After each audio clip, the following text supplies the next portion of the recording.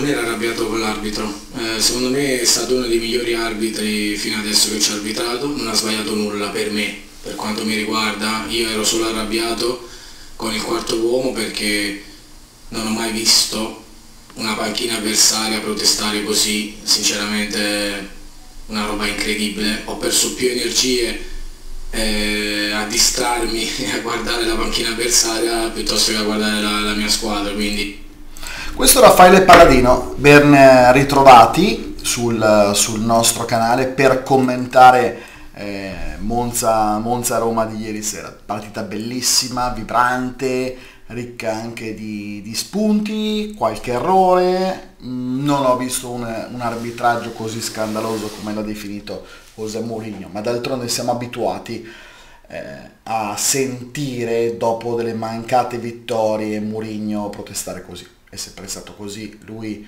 nasconde i suoi errori, le sue magagne, le sue problematiche, dando la colpa una volta all'arbitro, dando una volta la colpa all'avversario, dando una volta la colpa ai propri giocatori anche in maniera vergognosa, vergognosa, dando la colpa alla società, come peraltro ha fatto ieri nel post partita a Monza.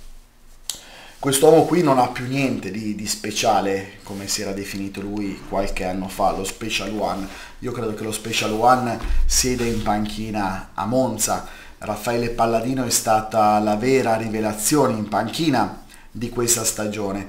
Io ammiro quegli allenatori che sposano dei progetti eh, complicati che poi li portano anche a termine. Non so se nella carriera di José Mourinho gli è mai capitato di allenare una squadra medio-piccola, non credo. Ci provi. Provi una nuova sfida. A quasi 60 anni potrebbe anche, potrebbe anche intraprenderla. Vada ad allenare una squadra come il Monza, una neopromossa, che, che ha ambizioni sicuramente di diventare grande. E poi ne riparliamo. Protestare con gli arbitri in questa maniera è stata una cosa incredibile, anche perché, come ha detto lui, l'arbitro non ha assolutamente influenzato, non ha influito sul risultato finale, quindi di cosa stiamo parlando? È il solito, è il solito José Mourinho, come ho scritto sul, sulla mia pagina Facebook, io credo che l'Italia possa fare decisamente a meno di personaggi come José Mourinho, io credo che ci siano tanti allenatori italiani, nostrani, bravi, con idee, che praticano bel calcio, ma soprattutto educati. Mi viene in mente Raffaele Palladino, posso dirvi Vincenzo Italiano della Fiorentina, posso dirvi Alessio Dionisi del Sassuolo, ve ne posso elencare tanti anche in categorie inferiori. Io credo che ci debba essere sempre, in questo Mourinho dovrebbe imparare eh, dal Monza, dallo stile del Monza eh, e, suoi, e da tanti suoi colleghi il rispetto per l'esito finale di una partita, per gli avversari, per i tuoi giocatori, per la società e per i tifosi. Poi non lamentiamoci eh, se allo stadio trovi gente impazzita proprio perché sente determinate dichiarazioni. Ecco, cerchiamo di abbassare il livello, cerchiamo di rispettare i tifosi, cerchiamo anche, tra virgolette, di educarli, quindi eh, che impari José Mourinho dallo stile del Monza, che non ha mai protestato, anzi da inizio stagione, che continuiamo a sentirci di un Monza che sarebbe stato favorito dagli arbitri, e dalla partita di Lecce che sentiamo un Monza favorito eh, dagli arbitri. Voi ditemi una partita, una dove il Monza è stato chiaramente favorito dall'arbitro, una, scrivetemelo qui sotto. Dai, non diciamo fregnacci, il Monza i punti se li è sempre conquistati con tanto sudore, anzi, anzi, se poi vado a vedere certe eh, prestazioni arbitrali, insomma mi viene in mente l'arbitro di Udine, adesso non mi ricordo il nome, dove il Monza ha subito un rigore all'ultimo, c'era un rigore netto, netto su Mattia Valotti che non è stato dato. Però non ho sentito dire Raffaele Paladino o contestare l'arbitro come ha fatto José Mourinho ieri dopo la partita dello Yoparo Stadium. Io credo, ripeto, che ci debba essere sempre rispetto per tutti. Cosa dire del Monza? Il Monza è sceso in campo per la prima volta in questa stagione con la salvezza matematica in tasca, ha giocato probabilmente più libero mentalmente. Secondo me la prestazione è, stato, è stata di assoluto valore. È vero che giocavi contro un avversario in pienissima emergenza, eh, forse alla fine potevi fare qualcosina di più. Io credo però che la prestazione è stata di, di livello. Eh, hai avuto anche una chance clamorosa nel finale con Carlos Augusto, l'ha avuta anche la Roma con una super parata di Di Gregorio eh, io nei panni di Palladino cercherei di giocare un pochino meno dal basso soprattutto ieri la Roma appena Di Gregorio metteva giù il pallone cercava appunto di, rifare, di far partire l'azione dal basso ti attaccava con 3-4 giocatori mettendo in difficoltà il portiere e gli stessi difensori. Ecco quando capitano queste situazioni cercherei di, di, cambiare, di cambiare, strategia. Eh, va bene che tu hai una certa tipologia di gioco, puoi partire sempre dal portiere, per carità, niente da dire, però in certe situazioni io personalmente eviterei. Vedo un Palladino che ultimamente sta confermando la fiducia eh, nei confronti degli stessi 11, un po' perché hai vinto sempre le, le ultime partite però magari c'è un po' di, di stanchezza in, in, alcuni di loro.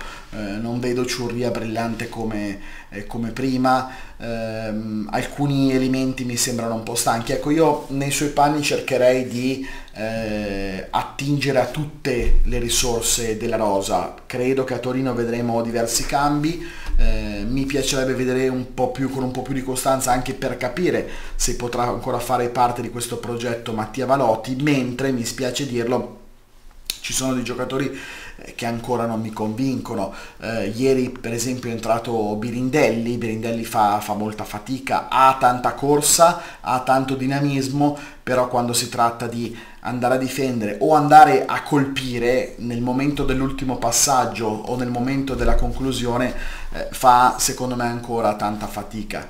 Chi invece non fa fatica assolutamente è Luca Caldirola, siamo veramente contenti eh, per Luca perché all'inizio stagione sembrava eh, che fosse stato messo ai margini, l'anno scorso in Serie B ha giocato poco, poi a Perugia l'abbiamo visto invece in una delle sue migliori prestazioni, ieri è stato favoloso eh, contro Ebram e Soci, ennesimo gol, cos'altro da dire, lui è Brianzolo, eh, mi piacerebbe vederlo anche vice capitano perché comunque eh, per me il capitano rappresenta anche il territorio quindi è giusto che la fascia sia, eh, affidata, sia stata affidata a Matteo Pessina però secondo me per come vedo io il calcio e per come vedo io il Monza il vice capitano dovrebbe essere Luca Caldirola. Senza nulla togliere a Pablo Marì che ho avuto il piacere di conoscere eh, a Monzello nelle scorse settimane ed è una persona non squisita eh, di più.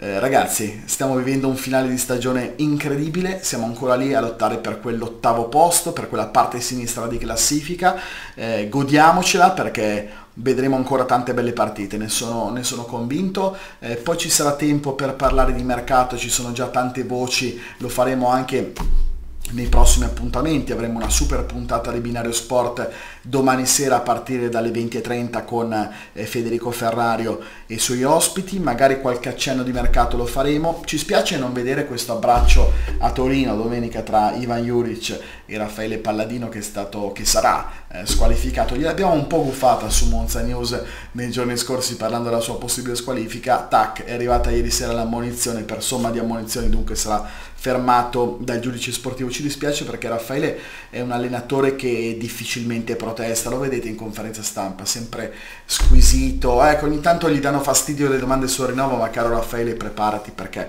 ci sarà, non dico il plotone di esecuzione da qui eh, alle prossime eh, conferenze stampa, però chiaramente la domanda sul, sul rinnovo sarà comunque sempre costante, quindi preparati, preparati bene anche a livello di contenuti come, come fai sempre, perché comunque la domanda eh, ti verrà sicuramente posta, anche perché dobbiamo veramente capire che cosa sta succedendo. Perché io credo che eh, è inutile che Raffaele ci risponda, eh, ma siete cattivi. No, non siamo cattivi. Noi siamo giornalisti e dobbiamo chiaramente capire che cosa sta succedendo. Perché noi vediamo da una parte un Adriano Gagliani, tifosissimo del Monza come noi, che spinge per il rinnovo. Ok, l'ha fatto domenica, lo ha fatto poche ore prima della conferenza stampa. È un Raffaele Palladino che invece prende tempo, che addirittura inizia la conferenza stampa pre-Monza Roma dove ringrazia tutti. Eh, a qualcuno è sembrato quasi un discorso d'addio. Spero, spero, che non sia, spero che non sia così. Spero che lui abbia ancora in mente di scegliere il progetto Monza, che non abbia ricevuto un'offerta pesante, un'offerta importante in questi giorni. È così, ma magari magari potrebbe essere lo spunto per eh, una domanda nella, nella prossima conferenza stampa. Eh, mi è venuta questa idea qui mentre registravo il video. Prossimi appuntamenti, binario ve l'ho detto, domani sera, venerdì, ore 20.30 con Federico Ferrario. Lunedì ci vediamo a Unica Calcio Monza, puntata bollente, si parlerà ancora del rinnovo di Palladino, ore 21.30 del post Torino Monza. Ogni giorno mi potete ascoltare su Radio Sportiva tra le 11 e le 12.30 e alla sera tra le 18 e le 19.30. Mi raccomando, se vi è piaciuto questo video mettete mi piace, iscrivetevi al canale di Monza News, seguitevi, seguiteci sui nostri social e soprattutto commentate. Ma come andrà a finire la telenovela Palladino? Scrivetecelo qui sotto. Ciao, buona giornata.